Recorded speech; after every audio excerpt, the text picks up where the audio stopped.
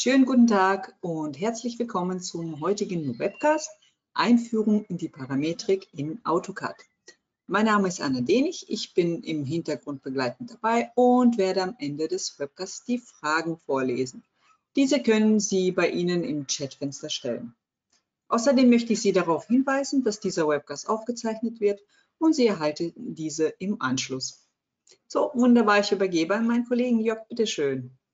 Danke, vielen, vielen Dank, Anna, für die nette Ein äh, Begrüßung und für die Einleitung. Mein Name ist Jörg Weber. Ich begrüße Sie alle recht herzlich zu unserem heutigen Webcast Einführung in die Parametrik. Die Kamera mache ich mal aus und lege dann einfach mal direkt los. Ich bin seit über 20 Jahren im CAD-Umfeld tätig, habe auch angefangen mit dem AutoCAD. Das war mein Einstieg in die CAD-Welt habe dann irgendwann natürlich auch das 3D kennengelernt mit dem Inventor und dem Datenmanagement mit Volt. Ich habe auch kleine Ausflüge ins Plan 3D, also das AutoCAD-basierende Werkzeug, um Anlagenbau vielleicht durchzuführen und was mir sehr viel Spaß macht im Bereich der Digitalisierung, Punktwolkenbearbeitung mit Recap.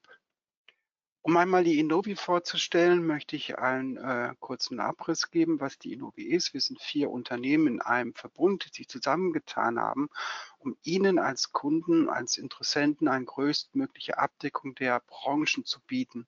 So sind wir zum Beispiel in der Architektur unterwegs, in Mechanik und Maschinenbau, aber auch in der Infrastruktur. Wir sind vier Goldpartner an insgesamt acht Standorten mit über 180 Mitarbeitern, die sich um ihre Belange und Bedürfnisse gerne kümmern. Im Einzelnen sind das die Arnold IT hier in Freiburg, dann das Hafners Büro in Stuttgart, dann haben wir noch Integra in Karlsruhe und die AKG in Haltersheim. Unser heutiges Thema ist AutoCAD Einführung in die Parametrik und anhand der Anmeldungen denke ich, ist es ein Thema, was interessiert ist, was vielleicht auch wenig benutzt wird und deshalb haben wir dieses einfach mal aufgegriffen, dieses Thema. Anforderungsfall haben Sie sich vielleicht schon mal gefragt oder haben folgende Anforderungen gehabt. Es sollen vielleicht zwei Linien parallel und lotrecht zueinander ausgerichtet sein. Und das eigentlich immer. Dass Sie hingehen und sagen, Sie möchten immer diese Beziehung parallel oder lotrecht oder auch eine andere zueinander haben, ohne groß mit AutoCAD ähm, Werkzeugen hantieren zu müssen. Oder was ganz anderes, zwei Linien sollen immer die gleiche Länge haben oder Kreise den gleichen Durchmesser und das auch immer. Man kann es natürlich einmal einrichten, das kriegt man hin. Man möchte es aber vielleicht dann auch so haben, dass wenn sich ein Durchmesser ändert, der andere automatisch sich mit in der Größe ändert. Oder dass Endpunkte von Linien immer miteinander verschmolzen sind, also dass wenn jetzt wirklich die Punkte aneinander stecken und Sie haben keine Polylinien, dass hier wirklich eine Beziehung zueinander steht. Oder dann eben auch, Sie möchten gerne die Bemaßung von Geometrien bearbeiten und es soll sich verändern, größer werden, kleiner werden und Sie möchten nicht jedes Mal über die Eigenschaften gehen.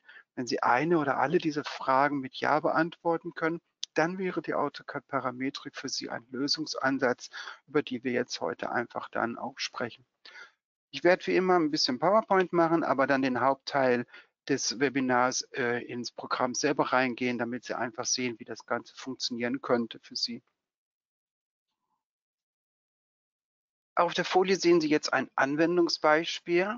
Ja, es gibt zwei Unterschiede in der Parametrik. Es gibt einmal die geometrischen Abhängigkeiten, es gibt die Bemaßungsabhängigkeiten. Geometrische Abhängigkeiten sind immer zu bevorzugen. Das ist auch die, die ich zuerst immer setze, die man auch dann später in vielleicht anderen Programmen als erstes setzt. Und dann die Bemaßungen. Alles, was Sie nicht mit geometrischen Abhängigkeiten erschlagen können, können Sie dann hinterher mit den Bemaßungen noch in Form bringen. Den Zugriff haben Sie im AutoCAD über die Werkzeugleiste, über die Werkzeugpalette parametrisch. Dort finden Sie dann eben die Möglichkeiten, die geometrischen und die Bemaßungsabhängigkeiten zu setzen. AutoCAD LT hatte seit der Version 2024 ein bisschen bekommen. Sie können keine Parametriken erstellen. Sie können aber äh, Zeichnungen, die Parametriken besitzen, so weit verwenden, dass Sie zum Beispiel auf den Parametermanager zugreifen und dort Werte ändern oder das Anze die Anzeige der Geometrien, der Parametriken ein- und ausblenden. Also da ist es so, Sie können keine erstellen, Sie können sie aber eben was die Anzeige betrifft, verwalten. Was ist das jetzt, die geometrischen Abhängigkeiten und die Bemaßungsabhängigkeiten? Geometrische Abhängigkeiten, ich sage immer, sind Zwangsbestimmungen. Sie zwingen zwei Objekte etwas zu tun, zueinander oder voneinander weg. So zusammen, so zum Beispiel das Zusammenfallen. Sie haben zwei Linien, die Endpunkte sollen miteinander verknüpft sein, dann wäre das eben diese Abhängigkeit Zusammenfallen. Oder sie sollen immer parallel zueinander stehen oder ganz wichtig, eine Linie, die immer horizontal oder immer vertikal sein soll, dann zwingen Sie eben über eine geometrische Abhängigkeit das Objekt, also diese Linie, immer so zu sein. Dann können Sie auch nicht mehr hingehen und das Ding vielleicht um drei oder fünf Grad verdrehen, sondern die Abhängigkeit ist halt so. Autodesk sagt, geometrische Abhängigkeiten sind Regeln, die die geometrischen Beziehungen von Objekten oder Punkten von Objekten definieren. Sie steuern, wie ein Objekt seine Form oder Größe ändern kann. Sie können das Ganze manuell vergeben oder auch automatisch. Wobei ich bei der Automatik gehe ich eigentlich immer hin, wenn ich eine Zeichnung erstelle und ich möchte ganz erstmal anfangen. Ich gehe nur hin und sage, ich möchte die Endpunkte miteinander verbunden haben, also das zusammenfallend. Und ich möchte gerne, dass die Linien horizontal und vertikal schon ihre Ausrichtung bekommen. Es gibt da auch noch so einen Toleranzwert, dass wenn Sie eine Linie gezeichnet haben, die vielleicht unter einem bestimmten Winkel steht, das Programm das erkennt und dann sagt, okay, du bist jetzt in meinem Toleranzwinkel, ich lege dich auch horizontal oder vertikal ab. Das Bild zeigt ein Beispiel Sie sehen jetzt hier an den Objekten die entsprechenden Symbole für die Abhängigkeiten. Ich habe sie mal hervorgehoben. Und in diesem Beispiel ist jetzt einfach wirklich die Abhängigkeit zusammenfallend, horizontal, vertikal und gleich verwendet worden. Sie haben also auch immer eine Kontrolle darüber, welche Abhängigkeiten welches Objekt jetzt besitzt. Es wird auch ausgeleuchtet, werden wir nachher auch sehen, wenn wir in die Zeichnung reingehen. Bei der Anzeigensteuerung können Sie sich entscheiden, ob Sie alle angezeigt, alle ausblenden oder ob Sie auch gezielt welche ein- und ausblenden möchten. Das ist sehr, sehr günstig, wenn Sie zum Beispiel hingegangen sind, Sie haben erstmal die geometrischen Abhängigkeiten gesetzt und wollen dann bemaßen, dann können diese kleinen Symbole schon mal ein bisschen nerven.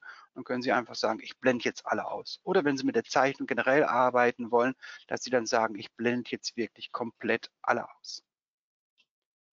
Bemaßungsabhängigkeiten verhalten sich wie im AutoCAD selber auch wie eine Bemaßung, nur dass Sie eben hier die Parametrik mitbekommen. Sie sehen, es gibt dann eben eine lineare, eine horizontale, eine vertikale Bemaßung. Es gibt die ausgerichtete Radiuswinkel und Durchmesserbemaßung. Auch hier hat Autodesk eine Definition. Parametrische Bemaßungen sind Beziehungen, welche die Größe, den Winkel oder die Position der Geometrien in Bezug auf die Zeichnung oder anderen Objekten verändern. Bezug auf die Zeichnung wäre zum Beispiel ein Nullpunkt. Wenn Bemaßungen geändert werden, wird das Objekt in der Größe verändert. Was bei Bemaßungen auch sehr günstig ist, Sie können Beziehungen zueinander stellen. Sie sehen zum Beispiel hier bei dem Maß der Höhe, da wurde einfach gesagt, die Höhe ist immer der gleiche Wert wie die Länge. Also Sie können hier äh, sich auf andere Bemaßungen beziehen oder auch kleinere Berechnungen reinbringen. So könnten Sie zum Beispiel auch sagen, dass, die, dass der Durchmesser immer die Hälfte von irgendwas anderem ist. Ja, auch hier einmal hervorgehoben, was habe ich hier verwendet? Ich habe eine lineare, horizontale und eine vertikale Bemaßung verwendet und den Durchmesserbemaßung und den Winkel. Ich hatte schon gesagt, Sie können Bemaßungen verketten, wie eben Höhe gleich Länge oder auch Bemaßungen berechnen lassen. Was Sie dann auch bekommen, ist ein Manager, ein Parametermanager, in dem alle diese Bemaßungen aufgelistet werden, in dem Sie aber auch zusätzliche Parameter verwenden können, die Sie für irgendwelche Berechnungen brauchen. Also ich habe jetzt hier einfach nur einen Abstandsfaktor eingebracht, damit ich meine Ansichten in einem schönen Abstand zueinander lege und den steuere ich einfach dann über diesen Faktor, den ich hier verwenden kann. Hier gibt es die Anzeigensteuerung, wie wir es vorhin gesehen haben bei den geometrischen Abhängigkeiten. Also alle ausblenden, keine Anzeigen oder auch gezielt. Und wie es komplett aussehen könnte, zeigt in dieses Beispiel Das sind jetzt, ist jetzt eine einfache Platte mit einer Bohrung in der Mitte oder nicht in der Mitte, sondern ausgelist ähm, rechts und links unten. Jetzt habe ich es. Und dann die Seitenansicht dazu. Und da unten sehen Sie jetzt meinen Abstandswert, der sich einfach dann eben auch mit diesem Faktor berechnet. So, das gucken wir uns das Ganze mal live an. Das macht immer viel mehr Sinn, wenn man es live sich anschaut, als wenn man jetzt immer nur erzählt. Das ist die fertige Zeichnung. So sieht sie aus. Sie sehen praktisch hier die ganzen Bemaßungen. Wenn wir jetzt hier oben mal hinzoomen, dann sehen Sie hier oben, dieses Element hat jetzt mehrere Abhängigkeiten. Das heißt, wenn ich jetzt hier drauf fahre, dann sehen Sie auch, welche Abhängigkeiten da drin sind. Hier zum Beispiel das Horizontal. Es wird auch ausge ausgeleuchtet, wo jetzt diese Abhängigkeit hingeht. Das gleich dann sehen Sie auch eben diese beiden Objekte, also diese Linie und diese Linie, die stehen gleich zueinander. Und dann haben wir noch einen horizontalen Punkt, den habe ich benötigt, um die Seitenansicht hier zu definieren. Sie sehen hier unten meine Länge, Sie sehen hier meine Höhe, das heißt, die Länge und die Höhe stehen jetzt in einem Bezug zueinander. Und wenn Sie dann draufgehen würden und sagen, Sie machen jetzt einen Doppelklick und ändern den Wert einfach mal hier auf 200, dann geht vieles mit. Und das macht die Parametrik einfach aus.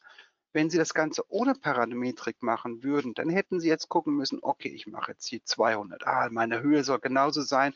Ich muss hier strecken. Ich muss darauf achten, dass jetzt hier mein Streckfenster richtig ist. Sie müssen darauf achten, dass diese Höhe mitgeht.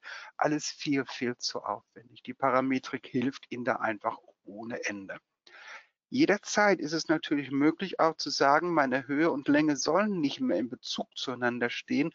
Ich möchte jetzt hier unterschiedliche Werte. Dann gehen Sie einfach rein und lösen das Ganze auf und sagen einfach, Sie möchten jetzt hier einen festen Wert. Ich hatte ja auch schon diesen Parametermanager angedeutet, den haben wir hier oben. Und dieser Parametermanager, da finden Sie dann auch diese ganzen Beziehungen wieder. Was sehr viel Sinn macht, ist, die Parameter dann auch zu benennen damit sie hinterher nicht nur D1, D2, D3 und wissen vielleicht nicht mehr, wo was ist. Ich mache das grundsätzlich mit den wichtigen Parametern, die ich gerne beeinflussen möchte. Dann ist es viel einfacher, hier hinzugehen und zu sagen, ich habe jetzt hier meinen Wert und ich möchte den auf 150 zurücksetzen und das Ganze geht dann wieder runter. So, jetzt möchte ich allerdings auch einmal anhand einer neuen Zeichnung einfach mal komplett von vorne aufbauen und Ihnen zeigen, wie das Ganze dann funktioniert. So, dafür habe ich jetzt hier eine neue Zeichnung. Meine Parametrik habe ich ja hier oben. Es fängt erstmal noch ohne Parametrik an. Sie könnten auch während des Zeichnens sofort mit Parametriken loslegen. Das heißt, es gibt eine Autoparametrik. Ich habe sie allerdings ganz oft aus, weil ich gerne selber entscheiden möchte, was passiert. Wenn Sie dann anfangen, das Gute bei parametrischen Bearbeiten ist, Sie müssen auch nicht unbedingt sofort mit Werte arbeiten. Sie können jetzt einfach ganz locker flockig hier hingehen, irgendwelche Werte. Sie müssen nicht darauf achten, wie groß die Werte sind, ob Sie jetzt hier die 150 eingehalten haben oder nicht. Können Sie alles eigentlich erstmal völlig frei loslegen. Zack, zack, bums, fertig. So, und dann fangen Sie an, eben in der von mir vorgeschlagenen Reihenfolge erst die geometrischen Abhängigkeiten zu setzen, also horizontal, vertikal oder ähnliches und dann die Bemaßungen. Und dann gehen Sie in die Parametrik rein. Da möchte ich allerdings zuerst einmal schauen, was macht das Programm jetzt für mich automatisch? Und wenn Sie auf die Autoabhängigkeiten gehen, dann sehen Sie, ich habe hier wirklich das zusammenfallend aktiviert, das, Automat das Horizontal und das Vertikal. Mehr möchte ich erstmal automatisch noch gar nicht haben. Das passt für mich soweit. Und dann können Sie auf den Befehl gehen, ziehen einfach ein Fenster drüber, bestätigen das und dann werden Ihnen diese Abhängigkeiten auch angezeigt. Das Zusammenfallen ist immer das kleine blaue Pünktchen und dann sehen Sie, jo, das Horizontal hat gepasst, das Vertikal ist erkannt worden, hier ebenfalls und hier auch. Ich hatte vorhin gesagt, es gibt ja so einen so ein, äh, Toleranzwert. Der Winkel ist natürlich viel, viel zu groß. Ähm, der kann natürlich jetzt nicht hier einfach gerade gesetzt werden. Aber in dem Beispiel haben wir auch gesehen, diese Linie soll immer den gleichen Wert haben, die gleiche Länge wie diesen. Dann können Sie einfach auf die entsprechende Abhängigkeit gehen, die beiden Objekte anwählen und dann zieht sich das schon in Form. Und dann passt es schon mal wunderbar. Mehr Abhängigkeiten, geometrische Abhängigkeiten sehe ich jetzt gerade hier nicht in meinem Beispiel. Also fange ich an mit den Bemaßungen. Und da habe ich es mir auf jeden Fall immer als Regel gemacht. Ich setze zuerst die Hauptmaße. Hier im AutoCAD ist es noch sehr wichtig, sonst reißt es Ihnen ab und zu mal die Geometrie. Später, wenn Sie mal andere 3D-Produkte wie zum Beispiel den Inventor nehmen, da ist es nicht mehr ganz so wichtig, da gibt es Arbeitstechniken. Und dann gehen Sie einfach auf ein Objekt oder sagen von Punkt zu Punkt. Es ist immer nützlich von oder günstig, wenn Sie von Objekt gehen. Sie sehen, das Objekt wird ausgeleuchtet. Zack, legen es einfach ab und der momentane Wert wird Ihnen auch angezeigt. Jetzt ist es Ihre eigene Entscheidung, ob Sie direkt den Parameternamen vergeben oder ob Sie erstmal sagen, ich lege erstmal alles ab und mache später im Parametermanager. Spielt keine Rolle. Das ist Ihre Arbeitstechnik. Sie werden da für sich eine vernünftige Arbeitstechnik herausfinden. Ich mache es sofort. Länge gleich 150. Passt. Ja, Sie sehen sofort, okay, das zieht sich zusammen, macht nichts. Das kriegen wir gleich alles noch in Form gebracht. Nehmen wir unsere nächste Abhängigkeit. Ich möchte jetzt hier eine vertikale Abhängigkeit. Ich sage wieder, ich möchte mein Objekt hier drauf, lege das ab. Und dann machen wir uns das relativ einfach. Wir müssen jetzt hier nicht nochmal schreiben, äh, Höhe gleich Länge, sondern Sie tippen einfach drauf und dann wird die Länge übernommen. Dann würde jetzt hier auch sofort so ein fx-Parameter entstehen, heißt es. Schauen wir uns das Ganze einfach mal an. Der Parametername ist D1 und wir haben es gleich Länge benannt. Passt. Super. Was mir nicht gefällt, meine Höhe steht nicht. Und da bringe ich jetzt meinen Parametermanager wieder ins Spiel. Und da ist es dann für mich ein bisschen eleganter, das Ganze zu ändern, als per Doppelklick auf das Maß, weil Sie können hier einfach wunderbar reingehen und Doppelklick hier reinbringen und dann einfach sagen, das ist die Höhe. So, jetzt habe ich dummerweise hier einen gemacht, den machen wir mal weg. Sie sehen auch, das hat sich sofort geändert. Das, was Sie im Parametermanager durchführen, hat sich auch sofort hier auf Ihre Zeichnung eingebracht. Und so gehen Sie jetzt einfach nacheinander vor. Ja, Sie gehen einfach hin und sagen, Sie machen zum Beispiel von dem Endpunkt zum Zentrum ein Wert. Das sparen wir uns jetzt. Da sagen wir, der ist 40. Oder Sie gehen dann eben von der horizontalen, von dem Endpunkt zu dem Zentrum darunter und da sagen wir, das sind 50. Und schwupp ist das Ding fix. Den Kreis können Sie jetzt auch nicht mehr bewegen. Der ist fest, der ist fix, der lässt sich nicht mehr von der Position ändern, es sei denn, Sie gehen über diese Parameter. Dann nehmen wir unseren Durchmesser dazu. Den haben wir hier, legen den dahin und der Durchmesser sollte 40 sein. So. Dann kann man mal gucken, je nachdem, wie groß Sie zoomen, springt ab und zu das, durch, das Durchmesser beim Maß und nach außen und nach innen. Ähm, da lebt man einfach ehrlich gesagt irgendwann mit. Dann gehen Sie hin und sagen, Sie möchten noch den Winkel bemaßen. Und da nach da, schwupp, das waren 135. Und dann haben wir eine, sage ich mal, vollständig bestimmte Geometrie hier. Das schieben wir noch ein Stückchen weg. Da hoch. Zack. So, dann haben Sie hier schon schön mit der Parametrik die, ich sag mal, Vorderansicht in den Griff bekommen. Wenn wir jetzt die Seitenansicht dazu zeichnen, dann können Sie mit der Parametrik auch wunderbar die ganzen Beziehungen herstellen. Das heißt, Sie gehen auch einfach hin und zeichnen erstmal, ich, und ich achte jetzt überhaupt nicht darauf, dass ich schon irgendwelche Geometrien abgreife. Das ist mir völlig egal, das zieht sich ja alles nachher schön in Form. Also ob das jetzt hier rauf und runter geht, ah, okay, ist nicht mitgegangen. Typischer Fall, da spielt nämlich dann das Zusammenfallen, was ich ja ganz am Anfang sagte, zwei Punkte sollen immer miteinander verkettet sein. So, das passt. Sie müssen auch keine Polylinien zeichnen, das spielt keine Rolle. Ich nehme hier generell immer Einzellinien. Und dann geht der Vorgang, äh, Vorgang wieder so vor, wie wir es gerade hatten. Das heißt, Sie gehen erstmal hin und sagen mit den Autoabhängigkeiten, zack, drüber. Okay, das passt, sieht gut aus. Was sich jetzt hier allerdings empfiehlt, ist einen Punkt auf der Geometrie festzumachen, damit nicht irgendwelche ja, komischen Effekte entstehen, dass wenn Sie jetzt eine Abhängigkeit geht, auf einmal das hochgeht, sondern dieser eine Punkt ist für mich der Ausgangspunkt und den lege ich hier unten auf die Ecke. So, und dann kann von da aus wird einfach alles andere berechnet. Und dann fangen Sie wieder an. das Ganze in Form zu bringen. Sie gehen hin und nehmen wieder erstmal Ihre geometrischen Abhängigkeiten. Das heißt, Sie gehen jetzt gucken, was habe ich denn alles parallel? Habe ich jetzt nichts, will ich nicht haben? Was habe ich hier oben noch? Das Zusammenfallen waren ja die blauen Pünktchen. Okay, das brauche ich jetzt auch nicht. Ich will, dass Linien kollinear zueinander stehen. Kollinear heißt, dass sie hier an der Stelle auf einer Ebene sind. Das wäre mein erstes Objekt. Das ist mein zweites Objekt. Schwupp, hoch. Und die sind auch immer so. Die bleiben so. Dann gibt es nichts anderes. Die sind einfach dann immer auf der gleichen Höhe und das ist eine coole Geschichte. Dann nehmen Sie wieder das Kolinear und sagen, okay, ihr beide kommt auch auf die gleiche Höhe. Zwischendurch können Sie aber gucken, ob es wirklich funktioniert, entweder per Doppelklick wieder auf den Parameter oder die andere bevorzugte Weise, dass Sie hier sagen, ich gucke mal, wenn ich das Ganze jetzt, den schieben wir mal hier hin, wenn wir das Ganze jetzt auf 180 stellen, was sollte passieren? Es sollte diese Höhe hochgehen und hier, der sollte auch mit hochgehen. Und das macht er. Wunderbar. Dann stellen wir das wieder zurück auf 150 auch.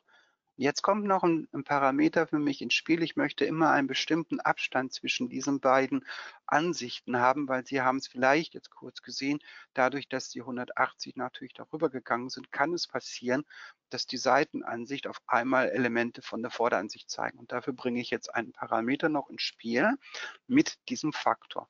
Den kann ich aber auch vorher anlegen. Das heißt, Sie haben hier immer die Möglichkeit, auch einen Benutzerparameter anzulegen. Den nenne ich einfach Abstandsfaktor. Abstandsfaktor. Den legen wir mal auf 3. So. Und dieser Abstandsfaktor, den können wir jetzt benutzen für eine lineare Bemaßung zwischen dem Punkt und dem Punkt. Den legen wir da unten hin. Und dieser Abstandsfaktor soll immer die Länge geteilt durch diesen Faktor sein. Das heißt, Sie gehen jetzt einfach da drauf. Jetzt habe ich natürlich mir nicht gemerkt, wie mein Parameter heißt. Macht ja auch nichts. Sie können ja wieder in diesen Parametermanager reingehen und diesen Abstandsfaktor einfach hier einmal mal nehmen, einmal kopieren und mein Wert D3, den haben wir hier. Den legen wir jetzt dahin durch und dann haben Sie eine Berechnung und dann kommt hinten raus, wie groß das ist. Und dann sind wir immer auf 50. Und das passt. Das ist eine coole Sache. Wenn Sie die Ansicht der Maße editieren wollen, also wie jetzt praktisch das da aussieht, ob Sie nur den Wert haben möchten oder ob Sie den Wert und den Namen haben möchten, oh, da muss ich natürlich wieder korrigieren. Das heißt Abstandsfaktor. Da schreiben wir nur Faktor hin, dann geht schneller. So, Upp, geändert. Sie haben immer die Möglichkeit, auch das Ganze noch ein bisschen einzu, ähm, ergrenzen oder darzustellen. Sie können zum Beispiel bei den Parametern nur sagen, Sie möchten nur den Wert sehen. Dann steht nur Länge, Breite, Höhe oder und so weiter drin vor. Das macht für mich keinen Sinn. Was vielleicht mal Sinn macht, ist nur den Wert einzustellen, weil dann könnten Sie auch hingehen, die Maße, die für Sie wichtig sind, auch sofort mit einem Bemaßungsstil definieren oder sowieso einen zweiten Bemaßungsstil nehmen, damit Sie nicht doppelt bemaßen müssen. Meine bevorzugte Einstellung ist allerdings wirklich zu sagen, ich möchte gerne den Ausdruck sehen, also den Name und den Wert. Weil die Bemaßungen, die ich später für die Zeichnung brauche, die würde ich sowieso im Layout anbringen und nicht hier auf das Modell. Aber das ist wieder, wie gesagt, Geschmackssache. Bringen wir diese Kante noch rein. Da würde ich einfach auch mal gucken, dass ich den richtigen Layer nehme. Das ist ja eine verdeckte Kante. Sie gehen jetzt hier hin.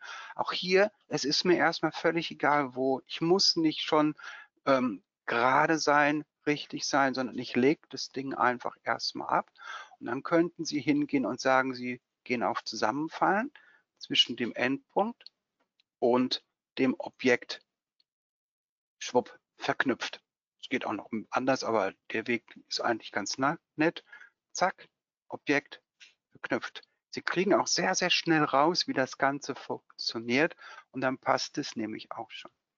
So, die Breite, die stellen wir mal fix auf 20. Das heißt, Sie gehen wieder hier drauf und sagen, Moment, ich muss einmal auf Objekt umschalten. Sie gehen dann drauf und sagen Ihre Breite, da können Sie auch sofort wieder hingehen, Breite gleich 20. Und dann steht das drin. Und wenn Ihnen das nicht passt, wie gehabt, Sie können immer wieder entweder auf den Parameter draufgehen oder auch in den Eigenschaften reingehen und sagen, Sie möchten hier zum Beispiel 50 haben oder ähnliches. Sie haben auch so kleine Pfeilchen dran, da können Sie auch dran ziehen. Nur wenn Sie ziehen, dann ist es so wie die dynamische Eingabe. Sie haben jetzt praktisch, Sie ziehen das einfach auf und haben keinen fixen Wert. Den müssten Sie dann hinterher nochmal editieren. Aber man kann schon mal sagen, oh, ich ziehe mir das mal ungefähr in die Größe. Okay, es sind, nee, das ist nicht groß. Das ziehe ich mir wieder zurück. Okay, das passt. Da haben wir die 50. So, jetzt sehen wir hier schon etwas. Oh, da ist irgendwas nicht ganz hingelaufen.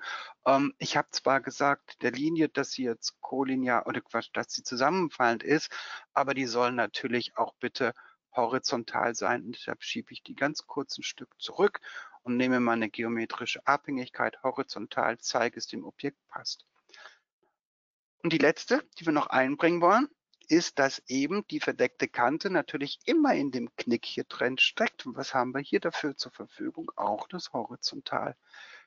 Und Sie gehen dann einfach hin und sagen, Sie definieren zwei Punkte, und zwar den Punkt und von mir aus den Punkt und schwupp ist es da unten drin. Und dann kann die sich auch nicht mehr verändern. Und jetzt könnten Sie mehr oder weniger Ihre Maße oder Ihre Parameter wieder verändern und alles ist wie gehabt. Okay, das sollte es für den ersten Eindruck, was die Parametrik betrifft, einmal reichen. Einmal ganz kurz noch, alle ausblenden. Das finde ich sehr, sehr angenehm, dass Sie hier wirklich sagen können, Sie nehmen alles weg, weil irgendwann, wenn die ganzen Parameter, die geometrischen Parameter drin sind und es sind viel, sehr viele, dann stören die beim Bemaßen und dann findet man, kann man das wunderbar ein- und ausblenden, genauso hier ein- und ausblenden und das ist eine schöne Geschichte. Sie können Abhängigkeiten auch noch löschen, wenn Sie die später aufnehmen oder wegnehmen wollen. Gut. Das war's. Erstmal gibt es Fragen, Anna? Hast du was? Hallo. auch mit. Hallo. Fragen Schön, sind dass da. du wieder- Schön, dass du wieder da bist. ja, ich lese mal vor. Ähm, mir werden die gesetzten Parameter nicht angezeigt. Der Befehl alle anzeigen ändert sich, ändert nichts. Es könnte vielleicht sein, dass die auf einem Layer liegen, der ausgeblendet ist. Da müsste man drauf schauen. Da müsste man wirklich drauf schauen, warum das so ist. Kann ich gerne im Nachgang machen, Herr Grün. Müssten wir einfach mal kurz telefonieren, dann könnte ich mir das anschauen. Okay, ähm, weiter geht's. Äh, wenn ich die Form nachträglich verändern möchte, also Linien hinzufügen oder entfernen, äh, können Sie das als Beispiel zeigen? Ja, mache ich genauso. Ich rufe Sie an, Frau Franz, und dann machen wir das einfach an Ihrem Bildschirm zusammen. Genau, es kam noch ein Nachzügler von ihr, und zwar, wie kann man die äh, Bezugspunkte von einer Linie verändern? Das Editieren. dann. Ja, das, das zeige ich dann. Okay. Okay. So, Sekunde. Wie kann man die gelbe, Äh, die wie gelbe man die, Leiste? Welche danke, gelbe Leiste?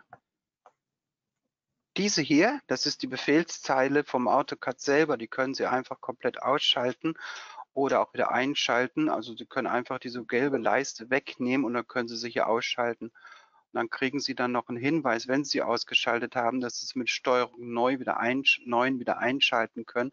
Ich empfehle es auf keinen Fall, weil die Befehlsleiste ist das Instrument, das, womit AutoCAD mit Ihnen spricht, sage ich immer. Also nicht jetzt Sprachausgabe, sondern Sie sehen dann immer an der Stelle, was gemacht werden soll. Ähm, wenn Sie jetzt einen Befehl aufgerufen haben, der zum Beispiel eine Option oder eine weitere Eingabe erfordert, dann steht das hier immer drin. Und die Befehlszeile ist wirklich eine sehr, sehr wichtige, ähm, ein sehr, sehr wichtiges Instrument. okay, perfekt, vielen Dank. Sehr gerne. Ähm, kann man die Bemassungsdarstellung ändern, sodass man keine anderen Bemassungen mehr braucht? kann man. Ähm, es gibt die Möglichkeit zu sagen, wenn man drauf geht, Sie sehen hier, es gibt einmal die dynamische und es gibt die beschriftende Abhängigkeit. Das heißt, wenn Sie dann hier hinten auf Beschriften gehen, dann ist es wieder Bemaßung, wie ein, wie ein Bemaßungsstil. Ja, Sie müssen dann natürlich nur hingehen und sagen, bei den Bemaßungen selber, dass Sie hier nur den Wert sehen wollen und dann haben Sie auch nur den Wert. Anhand des kleinen Schlösschens können Sie dann erkennen, dass es ein parametrisches Maß ist. Wenn wir jetzt zum Beispiel mal ein ganz normales Maß daneben stellen, also ein, ja, sagen wir mal jetzt von da nach da, dann sehen Sie, da fehlt das Schlösschen.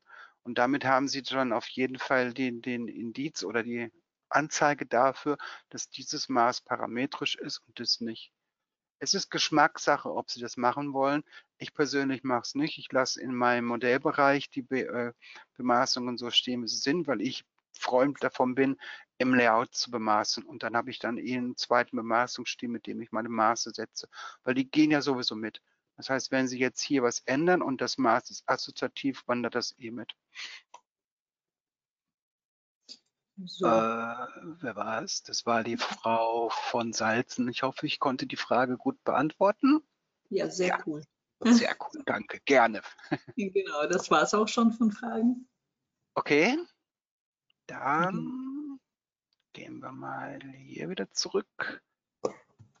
Wenn keine mehr kommt, möchte ich gerne noch die Gelegenheit nutzen, auf unsere weiteren Angebote hinzuweisen, auf die nächsten Webcasts.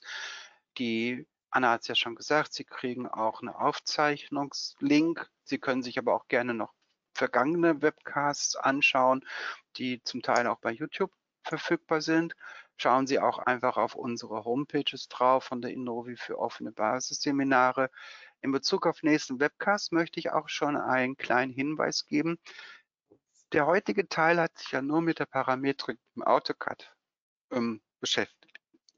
Wir haben aber einen zweiten Teil in der Richtung, wo wir einfach mal das Arbeiten der Parametrik im AutoCAD als 2D-Programm und dem Inventor als 3D-Programm, was allerdings sehr stark im Maschinenbau reingeht, einfach mal vergleichen, damit Sie auch sehen können, ähm, es gibt noch andere 3D-parametrische Programme oder überhaupt parametrische Programme, wie ist denn dann da vielleicht der Ablauf? Am 16.05. Wenn Sie wollen, würde ich mich freuen, melden Sie sich an, schauen, wir, schauen Sie wieder zu und schauen sich einfach mal eine Alternative zum AutoCAD an. Wenn Sie Kontakt mit uns aufnehmen wollen, sehen Sie über die eingeblendete Seite unsere entsprechenden ähm, Partner in der Innovi, eben die Integra, das Büro an und IT und die AKG Software. Und damit bin ich fertig und sage vielen Dank, dass Sie sich die Zeit genommen haben. Bis zum nächsten Mal. Bis zum Tschüss. nächsten Mal. Tschüss.